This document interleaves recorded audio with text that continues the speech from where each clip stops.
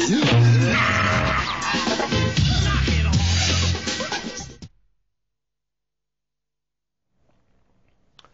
Hi guys, welcome back. 08600 62847. Don't forget to dial if you have any issues with your mathematics. We can help you with those issues right here live between 5 and 6. We're going to look at some really difficult trig equations now.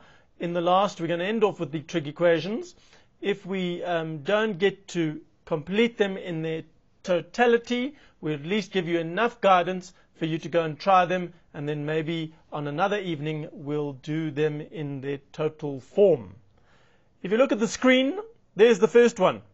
The question says, find the value of p, or find a value of p, for which sine squared 2p minus 1 plus cos squared 1 minus 3p equals 1.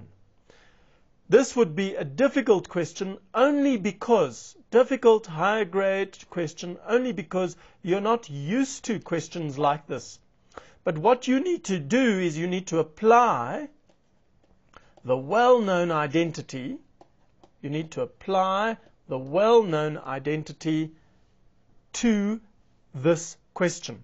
Question asks for you to find a value of p, which makes this true, and if you look at this, you've got sine squared plus cos squared equal to 1.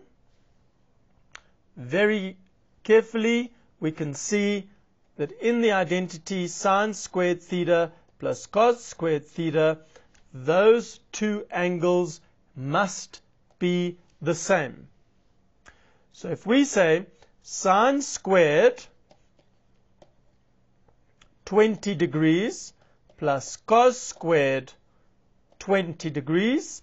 Because those two angles are the same, we can conclude that sine squared 20 plus cos squared 20 is 1.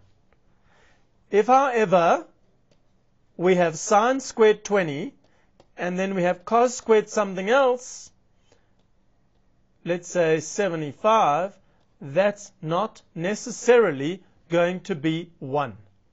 So this question, which I'm going to highlight for you, which is a lovely question, I think. Nice grade 11 and grade 12 higher grade trick question. If you look carefully, what is this question about? It's about sine squared of some angle plus cos squared of some other angle equal to 1.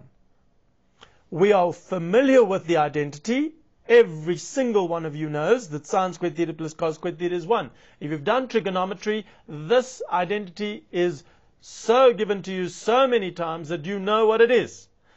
What you need to do is you need to be able to answer this question. You need to be thinking about that identity. When is sine squared plus cos squared equal to 1? Because the question tells me that this expression on the left is 1.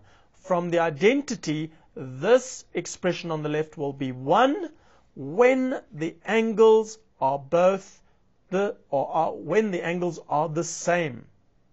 So to answer this question, all we have to do is we simply say if this is 1, then that angle 2p minus 1 and that angle 1 minus 3p, they must be the same. And where does what happens to the sine and the cos? They all disappear because the thinking is behind the identity. Sine squared of an angle plus cos squared of the exact same angle, that'll give you 1. So if you go back to the original question, the question says this is true. Sine squared of this angle plus cos squared of 1 minus 3p is 1. Now what? Give me a value of p for which this will work. Well, this will work when this part is exactly the same as this part here. And to answer the question, that's all you have to do. You have to say 2p minus 1 is 1 minus 3p. You bring the 3p over, you get 5p equals 2. And so p is equal to 2 fifths.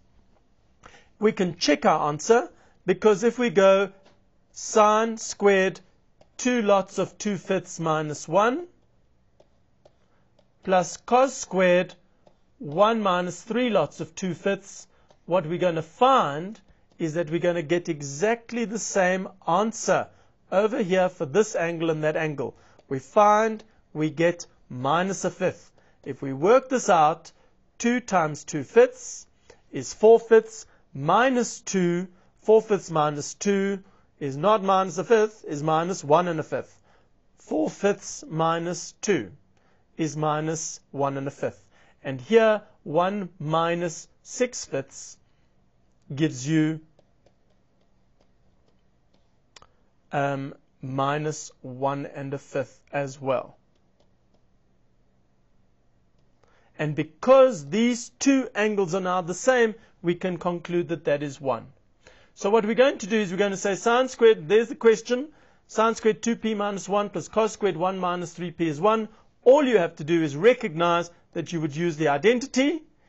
Hence you would say 2p minus 1 is 1 minus 3p and solve it and you get, you solve it, it's a simple linear equation um, which comes to P is 2 fifths.